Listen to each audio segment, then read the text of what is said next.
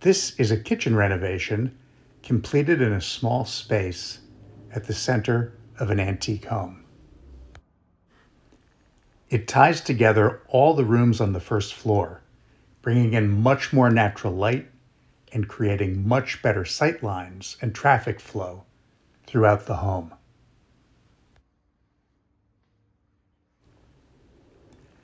The design of the new kitchen fits well in an antique home, using materials and classic design elements appropriate to the scale and style. Yet it adds state of the art appliances and many space saving features that meet the needs of demanding cooks. An interesting feature of this project is an interior skylight that brings more daylight down into the center of the house. You can see that this is nestled into the ceiling between some of the old floor joists. And it's directly underneath a skylight on the roof of the house up above.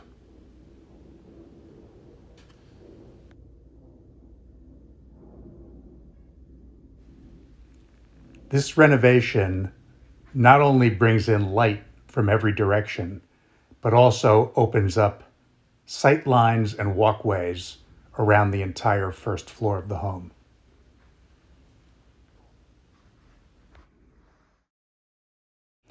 Before the renovation, the kitchen was more cut off from the front of the house. This made it feel dark and cramped. The appliances and the cabinets were dated. Counter space was quite limited, and the countertops themselves were very dark. Now, that small doorway has been expanded into a large cased opening, bringing in light from the windows at the front of the house. The old kitchen sink faced a cabinet and a wall and offered very little counter space.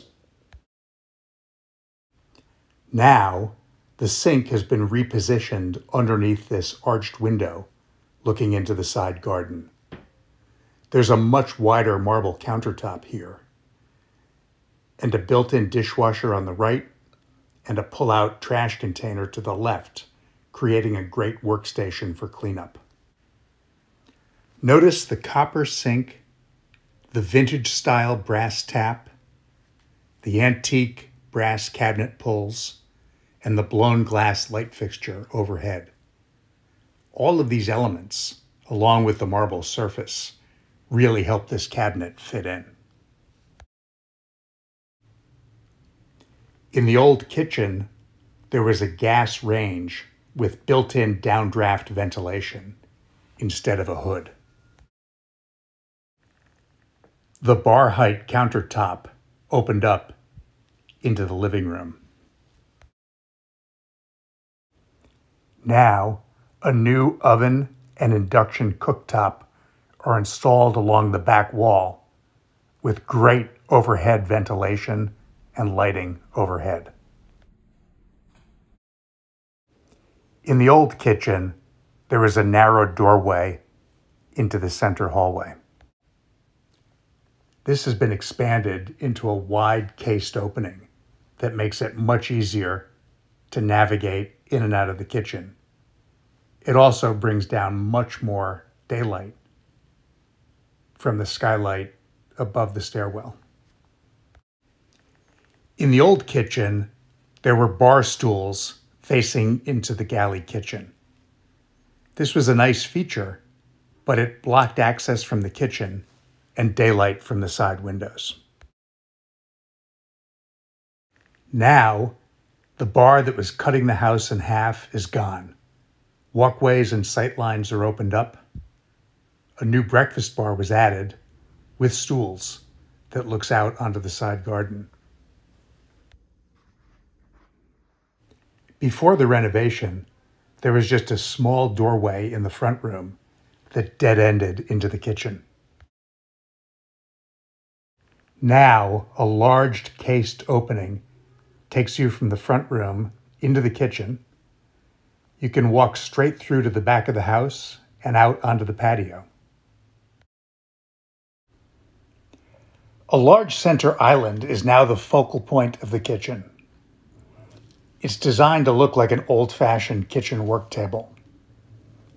This design provides a lot of storage and great counter space. It also conceals appliances such as a mixer, a food processor, and even a microwave oven. The overhead light fixtures above the island are in hand blown clear glass. This does a nice job preserving sight lines across the kitchen and into the adjacent rooms.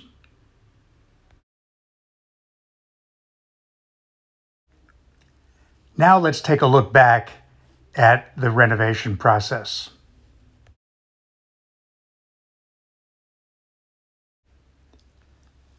During the renovation, the kitchen was closed off with temporary walls. Key appliances, like the refrigerator and range, were shifted into an adjacent room where they could be used during the renovation. Once the work area was sealed off, we could get to work removing all the interior walls and floors and expanding those small doorways into large cased openings. There's a double width brick wall between the front room and the kitchen that we strengthened with a steel beam so it could be opened up for the renovation. The original beams from the 1830s supporting the doorway were saved for making the breakfast bar.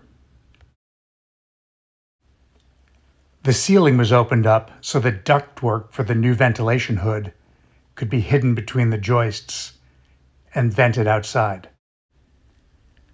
The sash from the original arched window was removed and restored. All this work took place behind the temporary wall while life went on in the rest of the house. Before the renovation, the kitchen floor was covered in tile on top of subflooring, but it was squeaky and uneven. We wanted to rebuild it from the original oak beams up and replace all of it with reclaimed heart pine boards, just like we have in the rest of the house.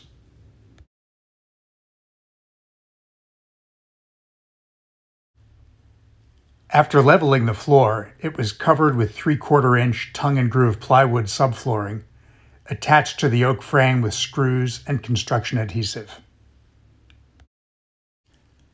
The finished floor is reclaimed heart pine that now runs seamlessly from the front room into the kitchen. It's one of the most beautiful features of the renovation and works perfectly.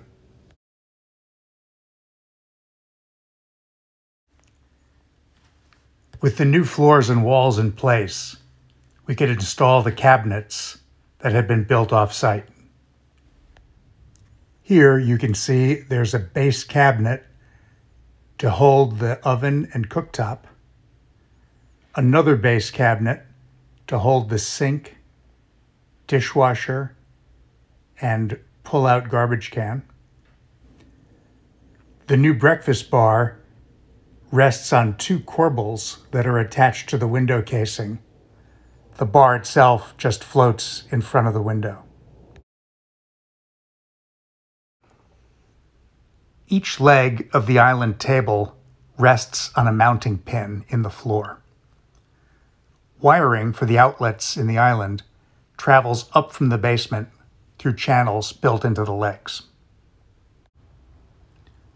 Once the cabinets were installed, it was time to visit the marble fabricator and lay out the countertops. The marble for this project was quarried in Vermont. The slab has some nice green veining, and the surface is a honed finish, which has a matte sheen. We were able to get all of the countertops and backsplashes that we needed from a single slab of marble. With the countertops installed, the renovation was complete. We could not be happier with how this project came out, and we got it all done without having to move out of the house. You can learn more about this project in videos about the flooring, the molding details, the interior skylight, and several other topics. Thanks very much for watching this video. Now it's time to put this kitchen to work and start thinking about what's next.